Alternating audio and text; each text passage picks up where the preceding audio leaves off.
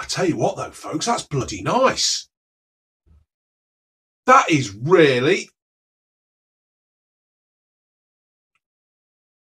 That is bloody lovely.